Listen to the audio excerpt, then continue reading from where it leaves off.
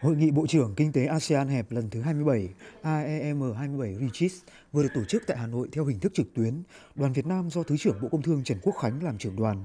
Tại hội nghị, các bộ trưởng kinh tế ASEAN đã thông qua 10 sáng kiến ưu tiên hợp tác kinh tế của Brunei trong năm chủ tịch ASEAN 2021 của nước này.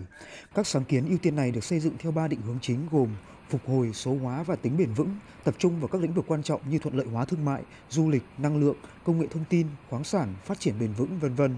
Hội nghị đã thống nhất các ưu tiên nghị sự thường niên năm 2021 trong kênh kinh tế bao gồm 68 nội dung khác nhau thuộc các lĩnh vực thương mại hàng hóa, thương mại dịch vụ, đầu tư, thuận lợi hóa di chuyển của lao động có tay nghề, cạnh tranh, bảo vệ người tiêu dùng, sở hữu trí tuệ, thương mại điện tử, doanh nghiệp siêu nhỏ, nhỏ và vừa, vân vân.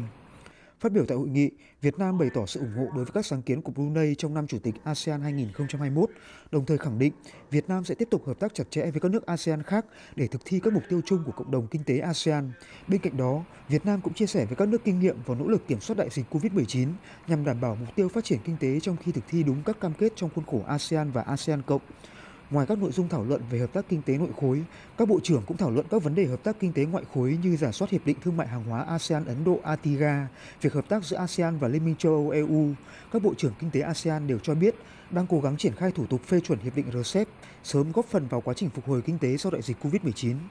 Cũng trong khuôn khổ hội nghị, các bộ trưởng kinh tế ASEAN đã có phiên tham vấn với Hội đồng Tư vấn Kinh doanh ASEAN nhằm trao đổi về các khuyến nghị của hội đồng trong một số lĩnh vực như chăm sóc sức khỏe, xử lý các biện pháp phi thuế quan và tăng cường hợp tác công tư trong khu vực ASEAN và giữa ASEAN với các đối tác.